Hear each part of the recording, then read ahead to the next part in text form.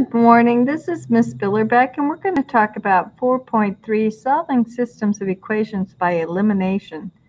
So there are three ways to eliminate by adding the equations together, by subtracting the equations from each other, or multiplying one or both of the equations, and then doing either method one or two. So let's take a a look at what does it look like when we're adding equations together and what strategies do we use. So when we look at an equation and we decide what is the easiest thing to do, we look at coefficients. So we see, oh, well, we have a 2 and a negative 1 here because we don't write the 1, but there's really a 1 right there. So we could write a little 1 right there. Okay, and we have negative 4 and 4. Hey, those are the same but opposite. So if I added these two equations together, what would happen is I'd have 2 minus 1 is just 1x.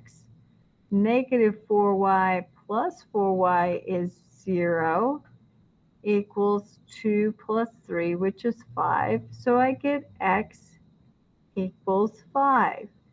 Then I'm not done yet because I need to find out, well, what is y? So I would go and I put it in the easiest of the equations. Both equations will give me the same answer. So it doesn't matter. Don't stress about which equation. Just choose one. All right, so this one here is negative x. So I could put negative 5 in there because x is 5 plus 4y equals 3. Then add 5 to both sides. And I get 0 plus 4y equals 8. Well, now I want to use a multiplicative inverse and divide by 4. And I get y equals 2. So I get a final solution there of I write x first and then y. So I get 5, 2, and that's our solution. So x is first and then y. So this would be an intersecting system. All right, so when we scan this one, we see, oh, I have 2x and negative 2x, so uh, those will eliminate because the coefficients are the same and opposite, so they're additive inverses. So um, that's what you're looking for. So 2x plus negative 2x is 0x, plus 3y plus 2y is 5y, equals 1 plus negative 6 is negative 5. So this is just zero. So we don't really need it. So bye-bye. And then we're going to divide this with a multiplicative inverse of 5. So we get y equals negative 1. All right, so we can plug this into either equation to find our answer. So we have for x, so we have 2x plus 3 times negative 1 equals 1. So 2x plus negative 3 equals 1. I'm going to use an additive inverse here. And I get 2x equals 4. Now I'm going to use a multiplicative inverse, divide by 2, and I get x equals 2. Okay, so then the point for this equation would then be 2 negative 1. And again, I have an intersecting system. Now, the important thing to do is once you've got your answer to check, you just quickly plug it in. Negative 2 times 2 is negative 4. 2 times negative 1 is negative 2. So negative 4 plus negative 2 is negative 6. So that checks out. Now this one here, we use this equation down here to find it. So let's use this one up top. So 2 times 5 is 10, minus 4 times 2 is 8. So 10 minus 8 is 2. So that one checks as well. So on these, it's really easy to mess up and lose a negative sign. and that'll just really throw you off. So make sure that once you've got your coordinates to check them with the other equation that you didn't use to solve for it. Solve for the second variable. Okay, so now let's try the other technique of subtracting the equations. Now, for some reason, your book doesn't tackle this one, but it's a very common way to solve, very simply. So you take this and you see, oh, hey, these two have the exact same coefficient. They aren't additive inverses. They're the same. So we could just subtract everything on this line and get our answer. So 4x minus 3x is x. 2y minus y is 0. And 12 minus 8 is 4. So we have x equals 4. Wasn't that simple? Okay. So now you just plug the 4 into either equation. It doesn't matter. So you have 4 times 4 plus 2y equals 12. So that's 16 plus 2y equals 12. Then we subtract the 16 from both sides. And we get 2y equals negative 4. Divide by 2 and we get y equals negative 2.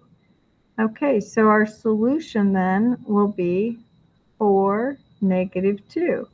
Now to check that, I use this equation to find it, so let's put it in here. So 3 times 4 is 12, plus 2 times negative 2 is negative 4. So 12 plus negative 4 is 8. So that checks. So this is our solution. And since we have one solution, we have intersecting lines. So this one, we have the same situation. We have the same coefficients, so we're going to have to subtract. So 3x minus 3x is 0.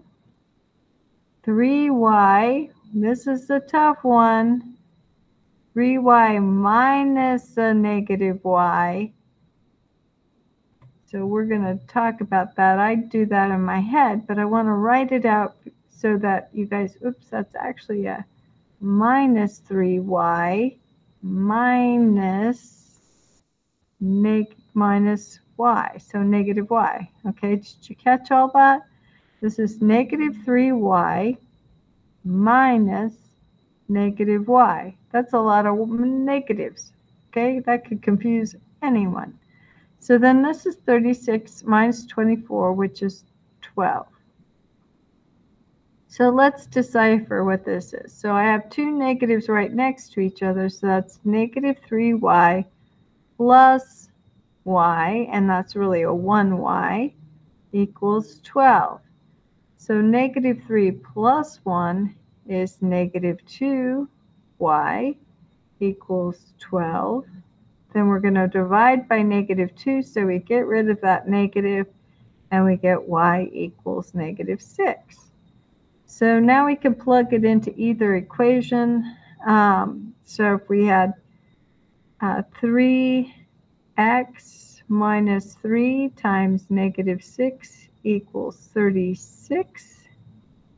That's 18. So 3x, that's a positive 18, equals 36. So we're going to use an additive inverse. And we get 3x equals 18 We'll divide each side by 3, the multiplicative inverse, and we get x equals positive 6. So for this one, our solution ended up being positive 6 for the x and negative 6 for the y. So that could be really confusing if we dropped a negative. So let's double check because subtraction can be a little more difficult than adding the equations. So 3 times 6 is 18 minus a negative 6, so that's plus 6. So 18 plus 6 is 24, so that checks. All right, let's look at the last technique of elimination. So this one, we're going to multiply one or both equations so that we do have the same coefficient. Now, I would suggest making it so you are not subtracting the equations, but adding them, because you can see how easy it is to, to um, mess up a negative when you're subtracting. So what I would do is I'd take this whole equation and multiply by 2. Let's do that right here. So we, oh, let's multiply it by negative 2. So we have an additive inverse. So this becomes negative 6, or negative 2x. So negative 2 times x is negative 2x. Negative, I should not use an x there. Let's just go like that negative 2 times 2y is negative 4y. And negative 2 times 4 is negative 8. So now we add these together because we have additive inverses, a 2x and a negative 2x, which is 0. And negative 5 plus negative 4 is negative 9y. So same sign sum. You add them and keep the sign. And then negative 1 plus negative 8 is negative 9. So now we're going to divide everything by negative 9, and we get y equals positive 1. Okay, so we're going to put that back into one of the equations. x plus 2 times 1 equals 4. So we get x plus 2 equals 4. Subtract the 2, and we get x equals 2. So our solution, even though we found x second, it is first in the coordinate. So our solution then for this is 2, 1.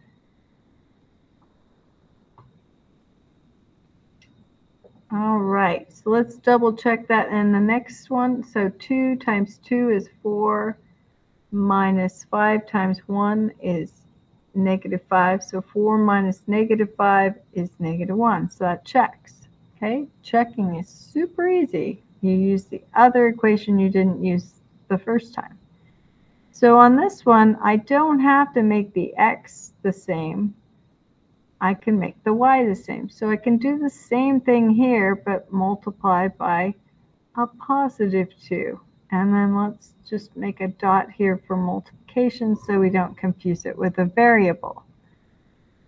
Okay, so under here, I'm going to have 2 times 2x is 4x. 2 times y is 2y. And then 2 times 2 is 4. So I'm going to add these two equations together. So this is really a 1x plus 4x is 5x. Negative 2y plus 2y is 0. And negative 5 plus 4 is negative 1. So when I divide this using a multiplicative inverse of 5, I get x equals negative 1 fifth.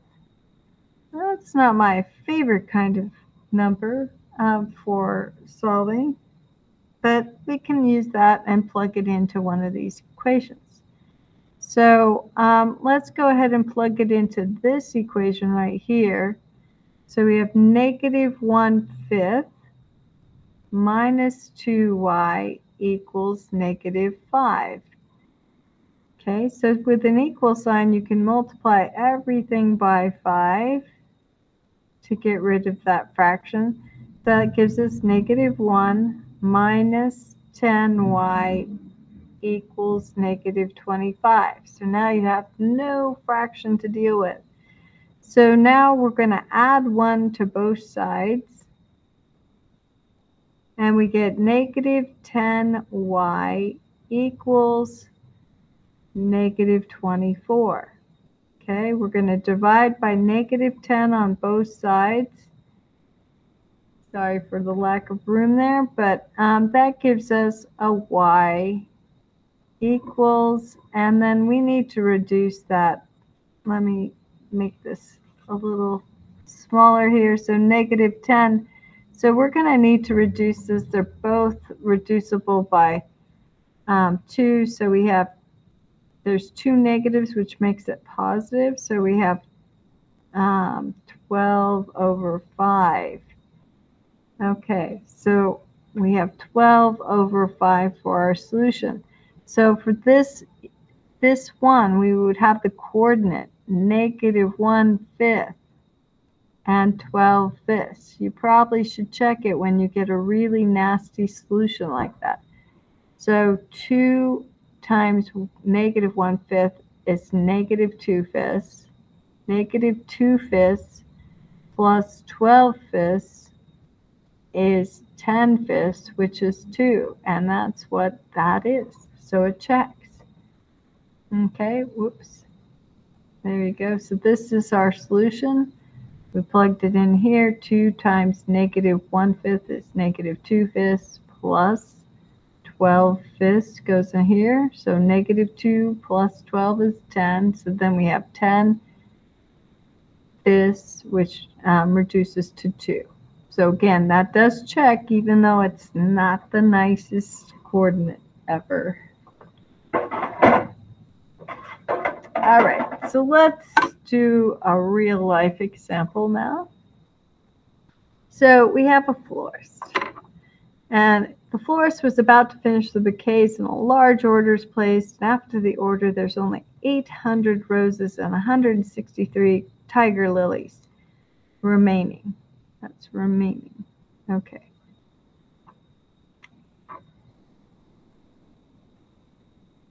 All right. If a regular bouquet takes five roses and 11 lilies, and a mini bouquet takes three roses and five lilies, how many bouquets can be made?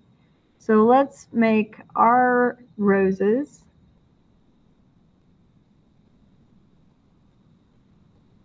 And L, a fancy L lilies.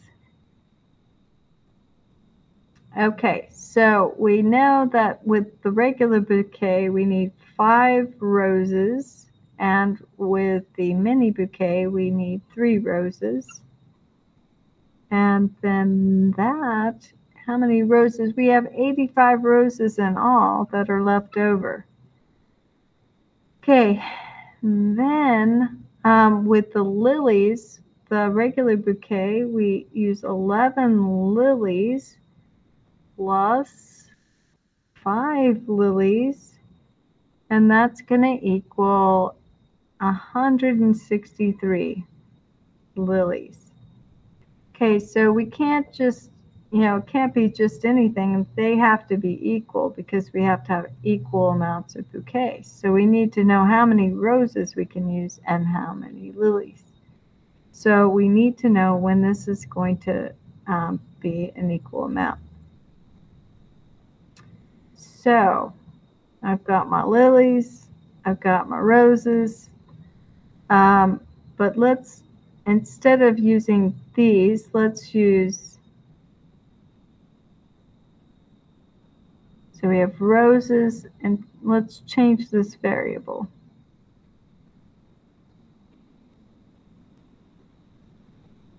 Because that's still not going to work for me. Okay. So we're going to go for the regular bouquet will be R.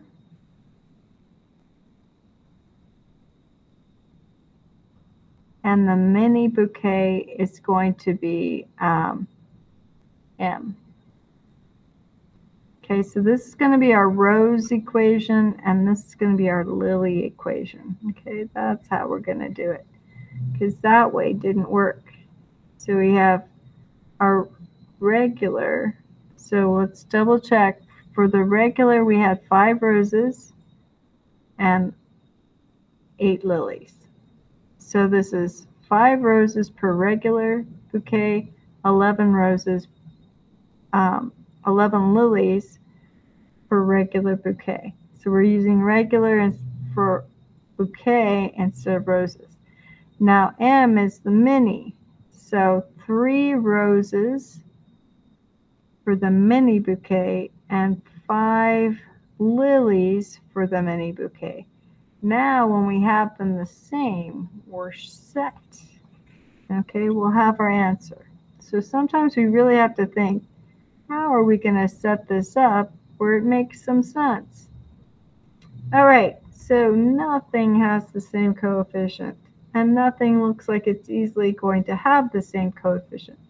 So this is going to require multiplying both equations. So we're first going to um, think about what, well, let's multiply this one by 5 and get this coefficient to be 15, and this one by negative 3. So we have additive inverses. So 5 times 5 is 25r. 5 times 3 is 15m. And 5 times 85 is 425. Okay, then this one, negative 3 times 11 is negative 33r. And then negative 3 times 5 is negative 15m equals, and then we have negative 3 times this. So we have a negative number, 3 times 3 is 9, then 18. So we have negative 489. So it looks like we're going to be dealing with some negative numbers. So this is the same thing as 33 minus 25. So that gives us a negative 8r. Okay, and this one is the same thing as the negative version of 489 minus 425. So that gives us 464. Oh, look how easy this is going to be. So now we divide by negative 8 and we get regular, which is r, is going to be 8. So now we can plug it into either one of these equations. So 5 times 8 plus 3m equals 85. So this is a 40. And we're going to subtract 40. And that's 3m equals, and then this becomes 45. Okay, so when we divide by 3, m here, by 3, just 3, not m. So we get m equals 15. Okay, so that what that means, what is our answer? So our coordinate, well, it's kind of hard to talk about a coordinate with r and m. We're just trying to find out what they are. So this, what it means is we let me clear up some space to write the answer. So what this means is we can make eight regular bouquets.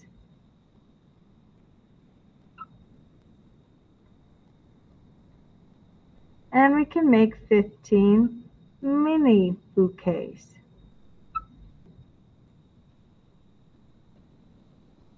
Okay, so that's what we're trying to find to run our business effectively so we don't have a wilted flower left over that we can't use because then we have to throw it out. And scrapping a, a beautiful flower is not only a tra- travesty, it will make you lose money. All right, so now let's look at the final one.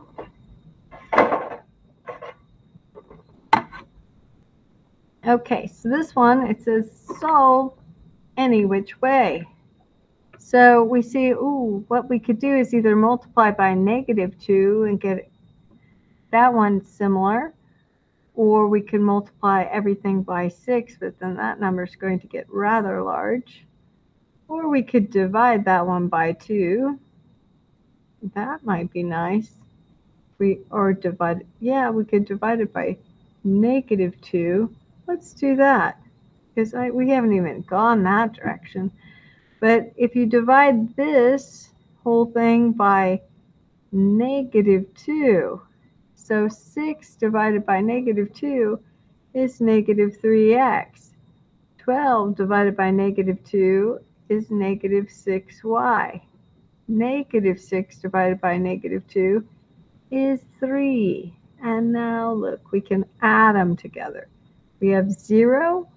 This becomes negative 8y to negative 2y plus negative 8y is or negative 2y plus negative 6y is negative 8y equals, and then negative 27 plus 3 gives us negative 24. So then we use a multiplicative inverse and we get y equals positive 3 because two negatives dividing give us a positive. We can plug this into either equation, original equation, not one you messed with like this. Okay, put it into the original. So we have 3x minus 2 times 3 equals negative 27. So 3x minus 6 equals negative 27.